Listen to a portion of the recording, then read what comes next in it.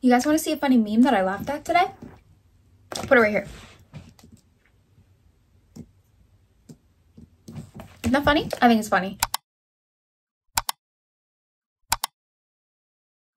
Anyways, today I decided to do the book recommendation tag that was created by Miss Steph Bohrer. Since she started it, I've seen so many of my favorites do it, and I just thought it would be a good way for you guys to get to know me a little bit better. Since I am so new to this, y'all don't really know that much about me. So what better way to get to know me than through the books that I read? So I'm gonna go through all the questions, I'm gonna answer them, I'm gonna try my best to not repeat any books for the answers, but if it happens, it happens.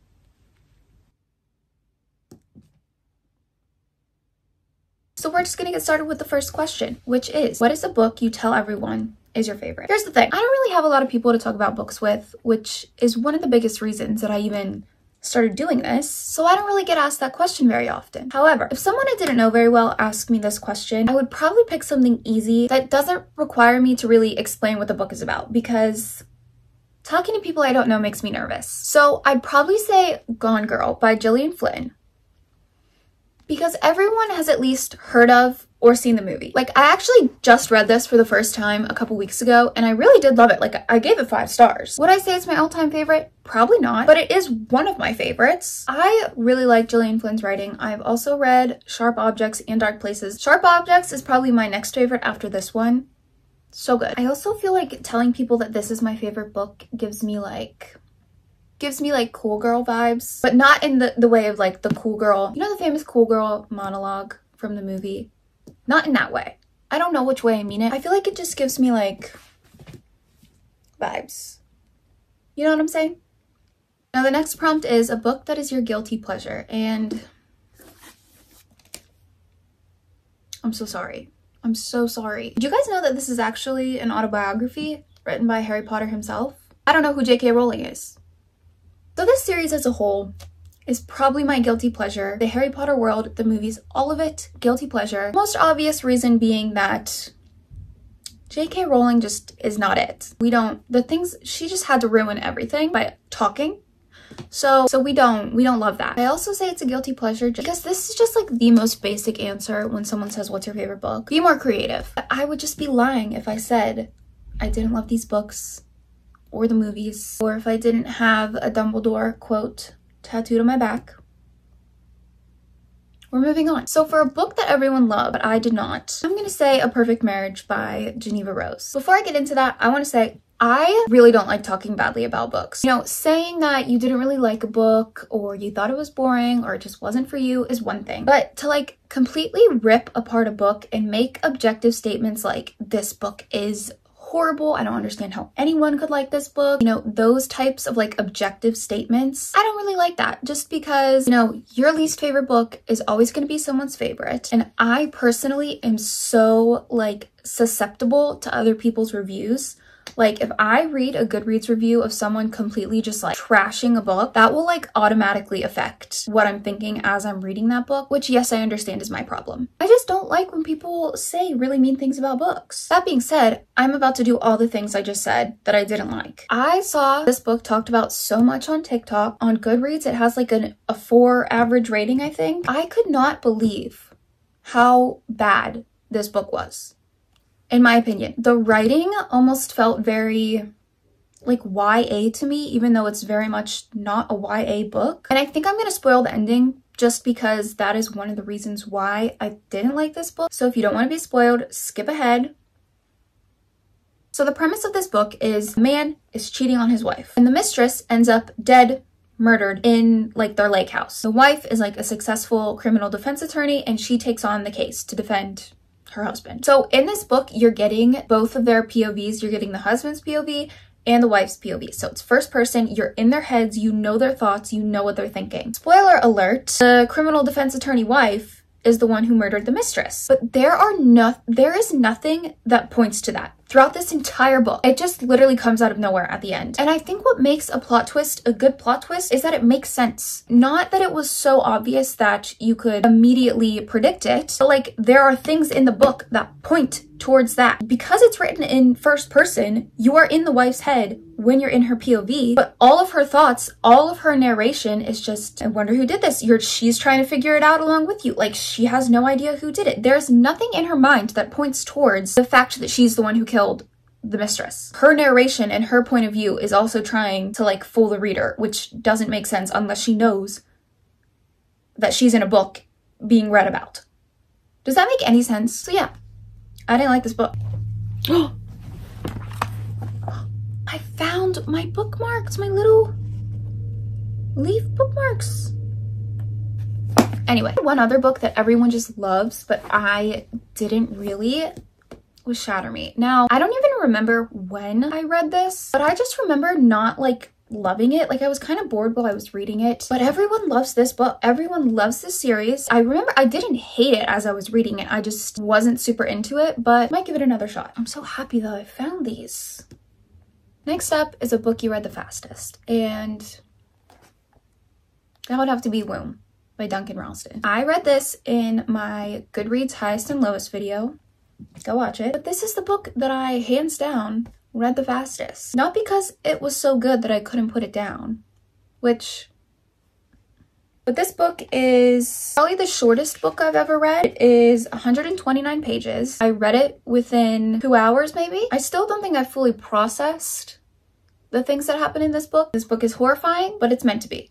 I would only recommend this book to a certain type of person. And that is the type of person who likes to horrify themselves for fun. Sometimes I am that person. So for a book that deserves more hype, I'm gonna talk about, I'm gonna talk more about an author. Well, I guess authors. And that is Greer Hendricks and Sarah Pekkanen, I think is how you say her name. I might just be missing something, but I feel like I really don't see these two authors talked about a lot on, you know, whether it's BookTok, YouTube. But if you're into thrillers, you need to read these books. I've actually only fully read The Wife Between Us. I have started The Anonymous Girl a couple times, but I, then I just get sidetracked by other books that I want to read. But I do remember this book was just so enthralling, like the plot twists. Like I could not put this book down because I was so eager to find out what was going on. I love the types of thrillers where you know something's going on. You know something is going on, but you just, you don't know what it is. You just want to keep reading so you can find out what the whole big deal is. That is my type of book. I don't know if that made any sense at all, but that's what I like. This duo deserves more hype. Next up, we have a book that is becoming a movie or a TV show. So apparently ACOTAR is in the works of becoming a TV show with Hulu. And honestly, I'm kind of scared. I don't even know if I'll watch it. I truly don't know if they'll really be able to capture what this is in a TV show. I just have such a specific image of these books in my head of the characters. Like if they don't get the casting right or if the casting is off, it will ruin everything in my head for me. But I also saw that that Sarah is like heavily involved with the writing. She's being super stubborn. So hopefully she pulls through for us. But I kind of would rather they just leave this alone, to be quite honest. So for a book that I've reread the most, I'm gonna have to say A Court of Mist and Fury. I really, I don't want this video to end up being all about ACOTAR, but it is one of my very high-key favorites. And this is also just a fact. A book that I've reread the most, like if someone was keeping track of it, this is an objective fact. Like I cannot deny that I have read this book too many times. I've never done a full annotation of a book like this before. And let me tell you, it is hard work, but it's so beautiful. I'm so proud of this. I cannot fight what this book does for me. Now I'm just contradicting myself because for the very first question, a book that you tell people is your favorite, deep down, this is probably my all-time favorite book. And again, such a basic answer. So I didn't want to say this. The feeling of reading this book for the first time, I will never be able to capture that feeling again. So for this next question, I don't really have an answer because it is, what is a book from a genre you don't typically read? And I have to admit, I have not been very adventurous with my taste lately. I read what I'm in the mood for. I like what I like. And that happens to be fantasy and my my made up genre of creepy, weird, mystery, thriller, horror. That's what I stick to. So one genre that I really don't read is romance. And I would argue that romance is like one of the most popular genres on TikTok, on YouTube, and I see so many people raving about the same romance books that I'm starting to feel a little bit curious. So I think I'm gonna do a reading vlog of reading popular romances for a week. I think that would be fun. And I would love to know which ones are your guys' favorites. So if you wanna leave me some recommendations for some of the romance books that I should get into, I would love that. Think of the most popular romance books right now. I have not read them.